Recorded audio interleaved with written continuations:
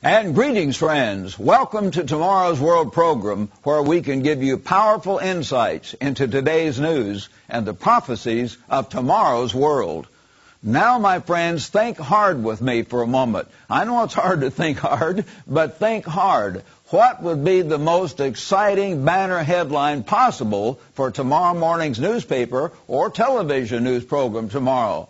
Would it be something about the avian flu? That's possible. Would it be something about a new war? That's possible. What about this headline? Jesus Christ has returned in power to rule the world. Yes, a new world government has been set up, the headline might say, with its capital at Jerusalem. All over the world, people would be astonished and yet I can tell you, my friends, on the highest authority, this most awesome event will happen soon, probably within the lifetime of many of us. Are you personally preparing for the second coming of Jesus Christ? Do you know when and how it will occur?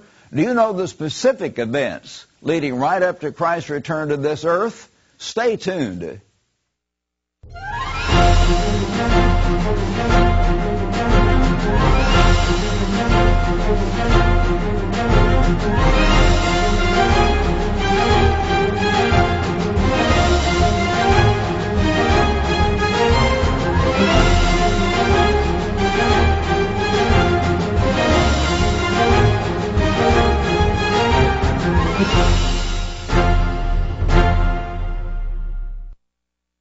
My friends, I know that many of you have been disillusioned about the idea of Jesus Christ's second coming. A very real Satan the devil has confused and deceived this world in many ways. People have really been mixed up about it. Some guys say, oh, he's going to come tonight, or others say a thousand years from tonight. All kinds of things have been said. He has used misguided individuals to confuse people about the second coming of Jesus Christ. We need to realize that. But if you truly believe the Bible, most of you believe the Bible, you're sincere, you have to believe that Jesus Christ is definitely going to return to this earth. Because the Bible says so over and over again. Again, when will Christ return? And what are the signs you should watch for? Go get your Bible if you have one handy. Prove these things right out of your own Bible. I don't ask you to believe me. You don't need to believe me. Believe what you see clearly in the pages of your Bible. Look at what Jesus Christ himself clearly predicted in Matthew 24. Check up on me now. Follow what the Bible says. Matthew chapter 24, beginning in verse 3. Jesus was talking to his disciples here on Mount Olive. Now as he sat on the Mount of Olives, the disciples came privately saying, Tell us, when will these things be? What will be the sign of your coming and the end of the age? Not the earth being blown apart, but the end of this present age of man's rule over this earth. Under the influence of Satan, frankly, it has been for 6,000 years. The end of the age. What are the signs? Notice, he said, take heed that no one deceive you. And he describes false prophet. He said, many will come in my name, not a few oddballs, many will come in Jesus' name, saying, I am the Christ, saying Jesus is the Christ, he was talking, and will deceive many. Many people coming in Jesus' name, deceiving many. And you will hear of wars and rumors of wars, and he describes then world war finally coming, and there will be famines, terrible lack of food. That hasn't hit us yet, but it will. It's not always going to be over in Bangladesh or somewhere. Please understand that. Famines, disease epidemics. Yes, avian flu is apparently on the way. We're sorry about that.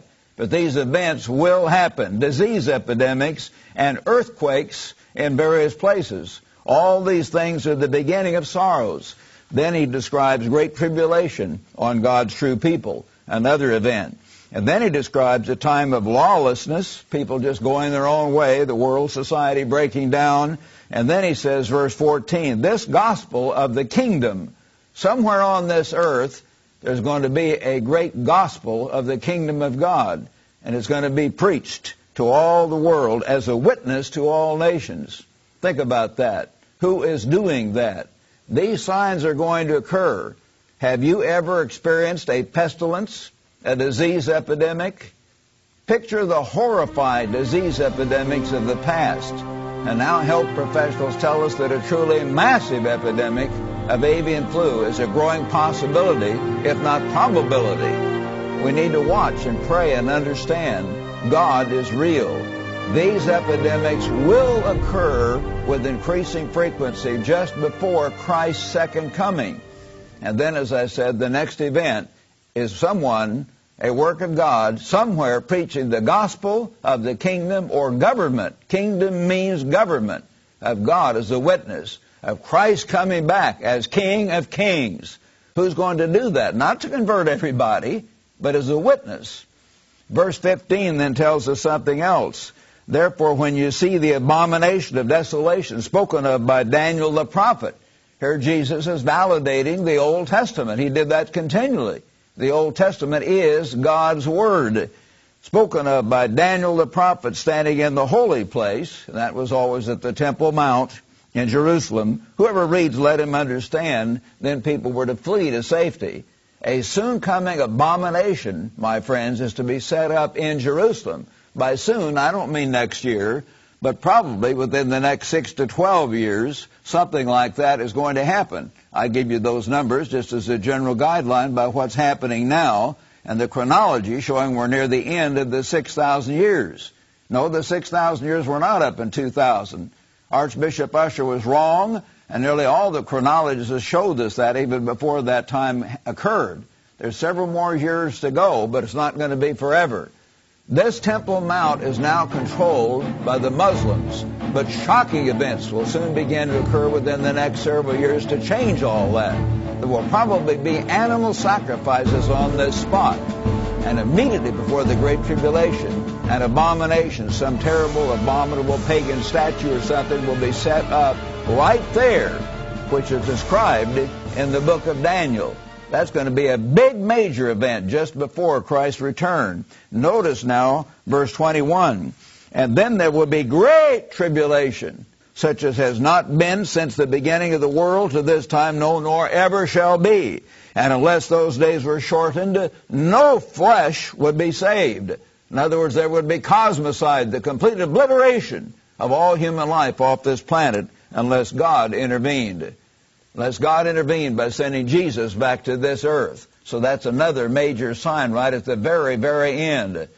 Think of how cosmocide could occur, my friends. Russia has thousands of atomic bombs. You know that. The newspapers tell you that quite often. They know that. Now both Iran and North Korea are building these very weapons themselves. Only in our time It's not been possible way back when. I know thought people thought Christ might come several hundred years ago. Some back in the mid 1800s thought that. Cosmocide was not frankly possible at that time. It is possible now and imminent now unless God intervenes. So Jesus' clear statement showed that we are now at the very end of an age. You need to know precisely what lies just ahead. You need to be aware of the specific signs preceding Christ's return to this earth. So I want to offer you a free copy, my friends. This booklet is entitled 14 Signs Announcing Christ's Return. It will be sent absolutely free upon your request. This booklet lists and explains 14 specific events to watch for immediately preceding Jesus' return to earth. It will make your newspaper reading and television news viewing really come alive. For once you've read 14 Signs booklet, you'll know exactly what to watch for leading right up to Christ's second coming. So call us today and request your free copy of 14 Signs Announcing Christ's Return. Just ask for the booklet on 14 signs. That's all you need. This informative booklet is yours absolutely free. No cost, no obligation. If you call this toll free number, 1 800 934 5579. That's 1 800 934 5579. Or send your request to Tomorrow's World, P.O. Box 3800, Charlotte, North Carolina 28227.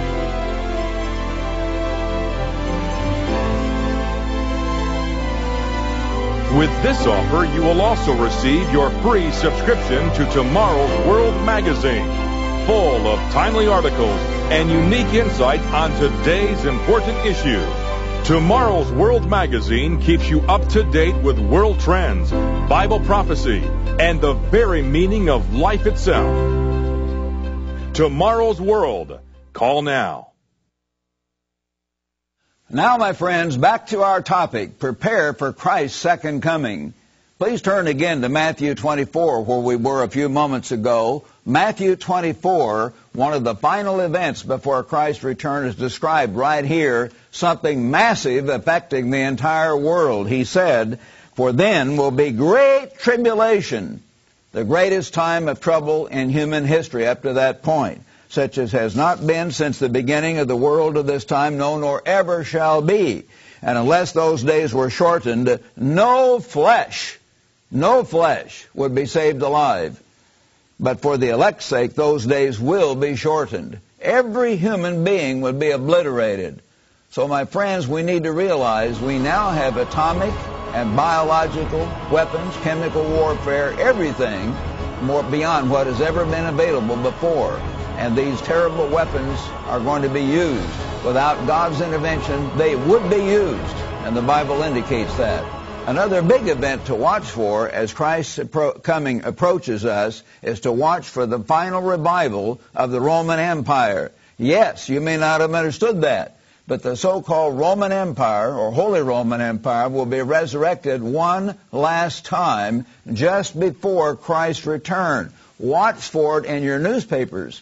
They even refer to it, frankly, from time to time in that terminology. Most of the time they don't, but watch it developing.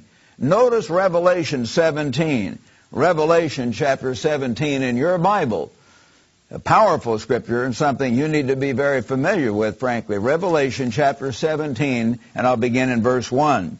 Then one of the seven angels who had the seven bowls came and talked with me, the apostle John writes, who wrote this, saying, Come, I will show you the judgment of the great harlot, or as the King James has, great whore, who sits on many waters now, these waters are identified in verse 15. God uh, shows his own signs, gives the definition.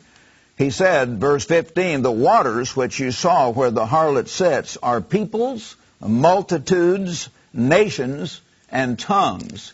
Many different nations speaking different languages, with whom the kings of the earth have committed fornication, verse 2, and the inhabitants of the earth were made drunk with the wine of her fornication. When you understand it, spiritual drunkenness comes over much of the world.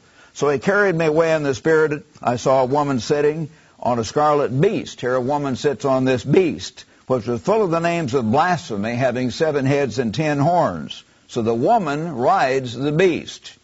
The woman was arrayed in purple and scarlet, the colors of harlotry and the colors of royalty and adorned with gold and precious stones and pearls, having in her hand a golden cup full of abominations and the filthiness of her fornication. And on her name, on her forehead, a name was written. Notice, mystery, Babylon the Great.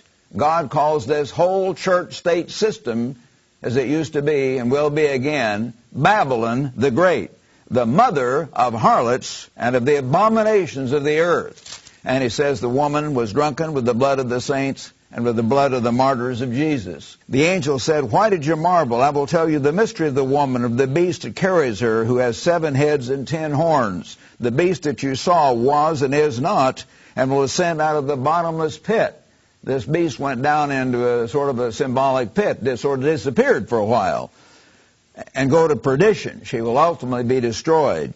And those who dwell on the earth will marvel, whose names are not written in the book of life you see, they won't understand, most people, when they see the beast that was and is not and yet is. Here is the mind of wisdom. The seven heads are seven mountains. Often the Bible uses the term mountain for kingdom. Seven different kingdoms upon whom this woman was to sit. And the seven mountains are the seven heads on, the, on which the woman sits. There are seven kings. Five are fallen when this vision was finally revealed, frankly, some years ago, near the time of the end. One is there's a small, quick revival. As I'll show you, it was the Hitler-Mussolini revival, and Mussolini, as the Encyclopedia Americana brought out, literally proclaimed his Italian empire when he conquered other nations in Somaliland and Africa as the Roman Empire. He said that himself, and that was a quickie revival, so to speak. One is, and the other, the final one, has not yet come. And my friends, it still has not yet come. And when he comes, he must continue a short time, just a brief revival, yet a powerful revival, leading right up to Christ's return to this earth. And the beast that was and is not is himself also the eighth. So it goes back through the seven revivals of the Roman Empire uh, you know, uh, plus the original Roman Empire, and he then is the eighth Roman system. He is the eighth and is going into perdition. He will go into destruction. And the ten horns which you saw on this final beast, notice, are ten kings. These ten dictators or kings who have received no kingdom as yet, but they receive authority for one hour as kings with the beast. And he, go, he goes, of course, and shows that's going to be a very short time. These are of one mind, and they will give their power and authority to this final dictator. Now, Hitler went around and Mussolini crushing other nations, but the final one is going to be very charismatic, very clever. He will pose as a great man of peace, a benevolent person. These other kings or leaders will give their authority to this man. He won't have to conquer them first. But I want you to realize how this system functioned and how it's going to come again at the very end. Picture, my friends, the strutting Mussolini, who publicly stated that he had revived the Roman Empire. And remember Adolf Hitler, his partner in ruling Europe and threatening Britain and America and the United States. Many of us older folks lived right through those frightening times. We saw that and experienced that. I did as a young man. Think about it. The final ten kings, though, give their authority to this final dictator. These final ten kings, notice verse 14, the arrogance they have, which shows the tremendous power this final system is going to have. In verse 14, these make war with the Lamb. And the Lamb, that's Jesus Christ, the returning Christ, will overcome them. For he is King of kings and Lord of lords, and those who are with him are called, chosen, and faithful. They had the supreme arrogance to think they can fight Christ. They must have had a lot of power to have that kind of arrogance. And this occurs just before and leads right up to Christ's return. So watch for this developing Roman Empire. It will eventually be led by an extremely clever and charismatic leader and it will be heavily influenced by a powerful religious system and a great false prophet you all need to watch for, and I'll be describing him in a few moments. Again, be sure to call or write and request your free booklet, 14 Signs Announcing Christ's Return. This powerful, well-documented booklet lists and explains 14 specific events to occur just before Jesus' return. You'll find this booklet, 14 Signs Announcing Christ's Return, very exciting and very helpful as you watch prophetic events unfold. And they are speeding up. It's going to affect your life in this generation now. So call us and request your free copy of 14 Signs Announcing Christ's Return. Just ask for the booklet on 14 signs. That's all you need. This informative booklet is yours absolutely free. No cost, no obligation if you call this toll free number, 1 800 934 5579. That's 1 800 934 5579. Or send your request to Tomorrow's World, P.O. Box 3800, Charlotte, North Carolina, 28227.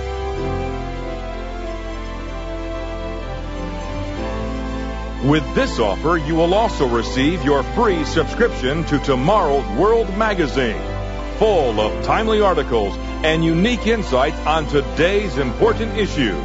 Tomorrow's World magazine keeps you up to date with world trends, Bible prophecy, and the very meaning of life itself. Tomorrow's World. Call now. Finally, my friends, be fully aware that somewhere on this earth today is a man who will soon manifest himself to those who understand as the great false prophet. Who is this man? Think about it. He's alive today. How can you identify him? Turn with me to 2 Thessalonians chapter 2. Check up in your Bible. This is an exciting chapter when you understand. A New Testament chapter written by the Apostle Paul, inspired of God to tell us what's just ahead in your life. Second Thessalonians 2. Paul writes, Now, brethren, concerning the coming of our Lord Jesus Christ and our gathering together to Him, we ask you not to be soon shaken. Don't be upset easily or quickly in mind or troubled either by spirit or by word or by letter, as though from us, even false letters, supposedly written by Paul, were being circulated, which he did not write, as if Christ's coming had come, you see. Let no one deceive you by any means for that day will not come unless, notice this, just before Christ's coming, the falling away comes first. There's got to be a great apostasy. This man of sin is revealed, the son of perdition. A great man of sin is going to be revealed just before Christ's return, who opposes and exalts himself, this man, above all that is called God or that is worshipped, so that he sits as God in the temple of God. He's going to sit in a very big, magnificent place, acting like God. He sits in the temple of God, showing himself that he is God. Do you not remember that when I was still with you, I told you these things? Paul said, I warned you personally. I pleaded with you. As he says in Acts chapter 20, with tears, he tried to warn them about this falling away. For the mystery of iniquity or mystery of verse 7 of lawlessness, as it is in the New King James Version, which is the correct translation. Lawlessness? He's not talking about the traffic laws. All they had was ox carts and donkeys back then. He says the mystery of lawlessness, a system based upon the idea you don't have to keep God's law. Grace does away with the need to obey God. It's very, very clever, very charismatic. It lets you off real easy fake grace, cheap grace, it can be called. The mystery of lawlessness is already at work. Even back then, men were beginning to get into that kind of thing. Only he who now restrains will do so until he's taken out of the way. That might have been the Apostle Paul himself. And then the lawless one, the final one who's going to do this, will be revealed, whom the Lord will consume. Notice this guy, the final one, is right before Christ's coming, leads right into Christ's coming. So the final one will be revealed, whom the Lord will consume directly, uh, actually uh, uh, blow up or destroy with the breath of his mouth, and destroy with the brightness of his coming. This final beast and this final false prophet are going to be strutting all over the world stage. People think, boy, they've got control of everything. Yes, they almost do for a while, but it's not going to last very long. And you'd better be sure you're on the winning team, my friends. You'd better be sure you're on the team of Jesus Christ who's really doing what the Christ of the Bible says and not just going along with your friends and not going along with the society around you. Think. Watch and pray, as Jesus said. You really need to understand we want to help you in this work. That's why we're here. We're not doing what's popular or we join the mainstream. But we're trying to tell you something you need to know. And you really do because this thing is underway right now. This man is alive right now. So he's going to be destroyed by Christ's coming. The coming of the lawless one is according to the working of Satan. He's, Satan is behind him and performing false miracles. But it shows he's going to come with all power, signs, and lying wonders, and with all unrighteous deception among those who perish, because they did not receive the love of the truth that they might be saved. This is the key, my friends. In addition to watching world events, you should prepare for Christ's return. How do you do that? Notice again, it's a matter of learning to receive the love of the truth you see, they did not receive the love of the truth. And for this reason, God will send them strong delusion that they should believe the lie, that they all might be condemned who did not believe the truth, but had pleasure in unrighteousness. They did not believe the truth. My friends, please, for your sake, you've got to learn to feed on this book. Feed on this book. This is Christ's Word, Christ's message in print. And learn to follow the truth. Ask God for real understanding. You should find out who's really teaching the full truth of the Bible and follow them as they follow Christ. Please learn to do that. Learn to do that. Remember my favorite scripture, Galatians 2 and verse 20. The apostle Paul said, I'm crucified with Christ. Nevertheless I live, yet not I, but Christ lives in me. That's the key. Christ will live his life in you through the Holy Spirit if you truly surrender to the true Christ of the Bible. Say, God, help me to follow your will. Help me to understand. Help me to follow your son Jesus and follow his example and what he really taught. Christ lives in me, Paul said. And the life which I now live in the flesh I live by the faith of the Son of God who loved me and gave himself for me. That's Galatians 2.20. That personifies Christianity about as well as any verse in the Bible. Notice Revelation 14.12. Revelation 14 verse 12, it says, here is the patience of the saints. Here are those who keep the commandments, plural, of God and the faith of Jesus. As it says in Galatians 2 verse 20, you're to have the faith of Jesus, not just faith in Jesus. So the true saints will be those who keep the commandments, all ten of them. Don't water down the commandments. Don't do away with the fourth commandment or try to change it around but keep all of the commandments of God and the faith of Jesus, where Jesus will live his life within you. Will you be one of these saints? Will you be protected from this coming great tribulation? Will you be in the kingdom of God? Again, my friends, call or write immediately and request your free copy of our eye-opening booklet, 14 Signs Announcing Christ's Return. This booklet, 14 Signs Announcing Christ's Return, a very attractive booklet will be sent absolutely free upon your request. Just ask for the booklet on 14 signs. Call now. And please tune in every week, my friends, to Tomorrow's World program. On this program, you will gain precious information and insights available nowhere else. Richard Ames and I will give you understanding of current events and of the exciting prophecies of tomorrow's world. See you right here next week.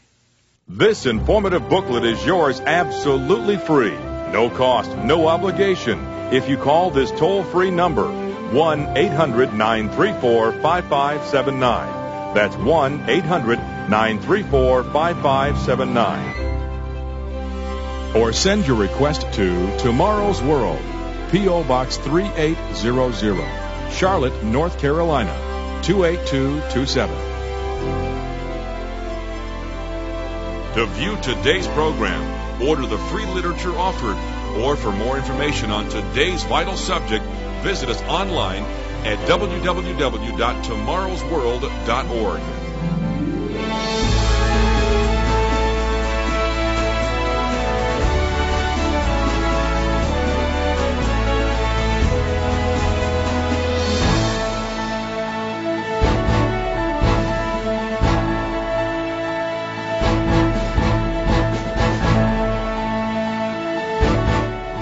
preceding program is produced by the Living Church of God.